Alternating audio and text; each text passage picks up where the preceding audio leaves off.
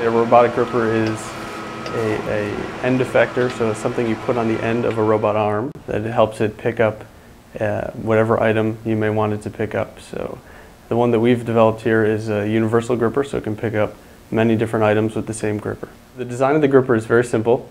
Uh, it has two main components. One is this massive granular material, and we find after uh, quite a bit of research that coffee has worked very well for us for that massive granular material, and that's encased in an elastic membrane. And uh, for this prototype, we're using a, a latex balloon for that membrane.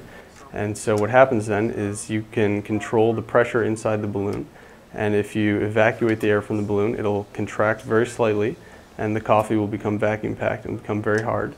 So this is this is a prototype of what this uh, gripper looks like. What you basically have here is a party balloon filled with grains of coffee. And why did we choose these materials? It's basically, you know, if you've ever handled vacuum packed coffee, you know, it's as hard as a brick. But once you release the vacuum of that uh, package, uh, the coffee spills like a fluid. So this is what we call the phase transition between solid and fluid. We've seen it in water and ice. It's exactly the same phenomena here, but instead of atoms of water, molecules of water, we have uh, grains of coffee. We tried rice, we tried different seeds and beans and many different things, and we found that coffee was, was a very good uh, material to use because it was irregular, so the grains did kind of interesting things and locked, in, locked into each other really good when it, when it was driven into the, into the jamming state, that rigid state.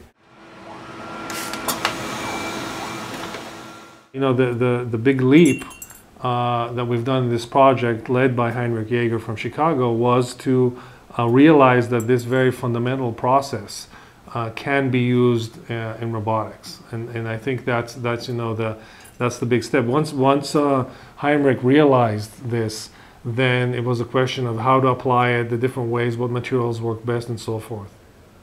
You know, this is uh, one example of, of applying this uh, concept to, to uh, manipulation, but you can also imagine other applications. You can imagine, for example, structures that are soft uh, when they need to be, they can reconfigure and then harden um, when they need to. So reconfigurable structures, you can imagine putting this kind of structure on the feet of a robot uh, so that it can walk on the wall or on the ceiling and grasp things as it's walking. You can imagine putting these kinds of things on uh, robotic tracks, on fingers. So there's really uh, uh lots of ways that uh, this kind of technology can be used, and we want to see where uh, it can take us.